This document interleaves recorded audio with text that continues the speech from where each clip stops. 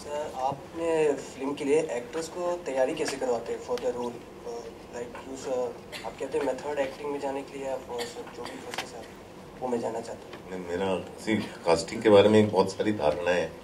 मैं इसलिए, मैं, क्योंकि आप, मुझे मालूम है अभी तीन लोग तो एक्टर्स बैठे थे जिन्होंने सवाल पूछे। और अंदाज़ा है कि बहुत सारे एक्टर्स भी होंगे। और सबको मैं, मेरा सब लोग अक्सर आते हैं बोलते हैं कि आप कैसे कास्टिंग करते हो मैं ये भी कर सकता हूँ वो भी कर सकता हूँ। और ये चीज़ बहुत सारी मेरे बहुत पुराने डिस्कशन हो चुके हैं एज एन एक्टर हमें लगता है कि हम सब कुछ कर सकते हैं। मैं भी मैं खुद भी स्टेज पे बहुत काम किया मुझे भी लगता था मैं बहुत अच्छा एक्टर हूँ। और मैंने अभी तो आप लोगों ने मुझे फ़िल्म में एक्टिंग करते हुए देखा है। मैंने कुछ पाँच फ़िल्में की थी एज ए लीड रोल जो किसी ने नहीं देखी थी। हाँ, जो ये 93 की बात है। और जो इतनी इतना स्टेज करने के बाद जब अपने आप को पर्दे पे देखा, मुझे रियलाइज़ किया कि मैं बहुत ही खराब एक्टर हूँ पर्दे पे। और जितना मैं अपने मन में जीता हूँ, मैं क्यों नहीं कर पाता? हूँ मैंने खुद ही डिसाइड किया और एक्टिंग छोड़ दी। उससे मुझे काफ़ी हेल्प मिली एक्टिंग करवाने में लोगों को। कि ऐसा क्यों है जो आप जो कर पाते हो स्क्रीन पे ट्रांसलेट नहीं कर पाते? और गलत फहमियाँ बहुत सारी दूर हो गई। हमें लगता हम बहुत कुछ कर सकते हैं।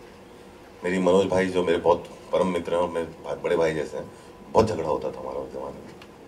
और कई झगड़े इस बात भी शुरू हुए क्योंकि शाहरुख खान दिल्ली से थिएटर जब आए थे तो स्टार बन गए थे।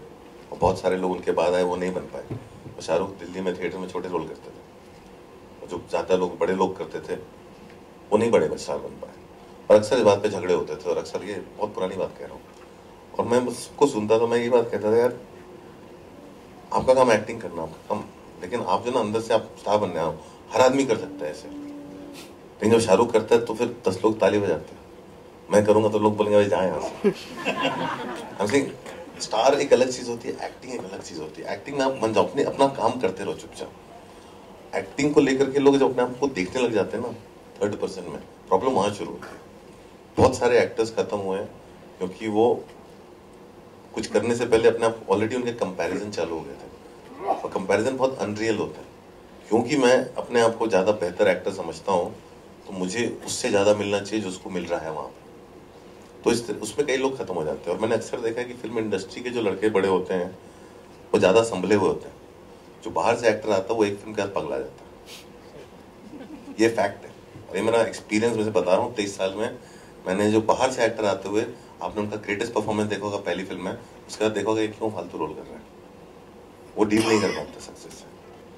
उसके अंदर सक्सेस और फेलियर को झेलने की, सहने की तमीज नहीं होती और मैंने ऐसे ऐसे जहीन लोग देखे बहुत समझदार लोग देखे।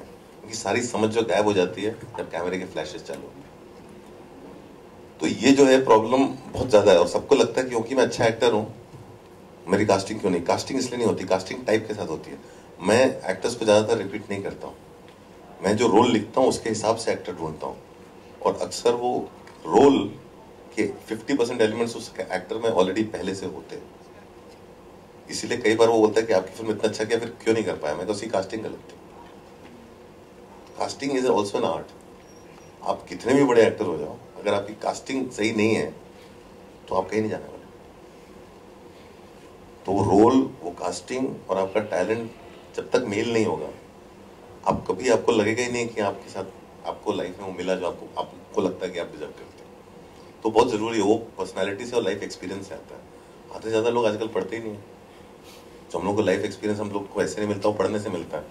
आप लोग नाटक ही नहीं देखते, लोग थिएटर करने से भागते लोग लोगों को कि मैं गया थिएटर करने में को बैक स्टेज करा रहे तीन महीने से। अरे छः महीने तो मैंने झाड़ू मारा है यार।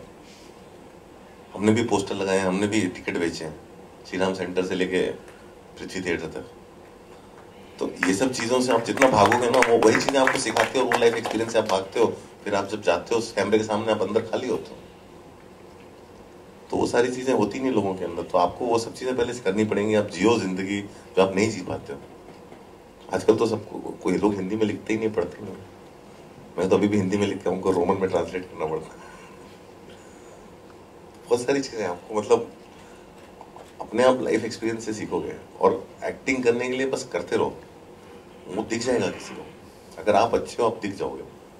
कोई अच्छा आदमी ऐसा नहीं है, मैं भोपाल में और कानपुर में कौन अच्छा एक्टर कौन से थिएटर ग्रुप में कर रहा है? पटना में उसके नाम मुझे मालूम है, मैं लिस्ट में पहुँच जाता है। तो आपको मेरे ऑफ़िस में आने की ज़रूरत नहीं, मैं ढूंढ लूँगा। तो मैंने अक्सर ढूंढे।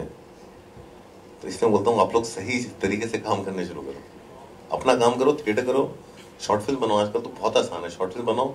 एक अच्छा परफॉर्मेंस आपकी शॉर्ट फ़िल्म को वायरल कर देगा। भले ही छह महीने लगे, चाहे एक साल लगे।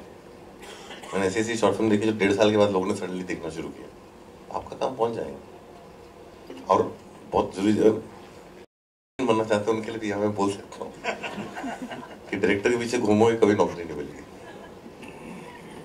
अक्सर क्या होता है कि जब आप टीम डिसाइड करते हो तो मैं ऐसे चार पाँच लोग चुनता हूँ जिनको मैं चिल्ला सकूँ वो मेरी गाली तभी सुनेंगे जब वो उनको अपनी टीम चुनने का हक मिले। मैंने उनको पाँच लोग दिए पाँच के साथ काम करो, ये काम हुआ क्यों नहीं? तो मेरे को पलट के बोलेगा कि मैं जिस आदमी का काम करना था वो तो आपने दिया ही नहीं है इसको मैं कैसे सुनाऊँ? तो जिसको असिस्टेंट बनना उसको सबसे पहले फ़िल्म में जाके एसोसिएट डायरेक्टर कौन है वो पूछना चाहिए। एसोसिएट डायरेक्टर असिस्टेंट की टीम बनाता है। कास्टिंग डायरेक्टर एक्टर्स ढूंढते हैं। डायरेक्टर के पीछे घूमने से कुछ नहीं होता है। Hi everybody, I'm Shah Rukh Khan. And uh, watch me only on facebook.com slash business of cinema.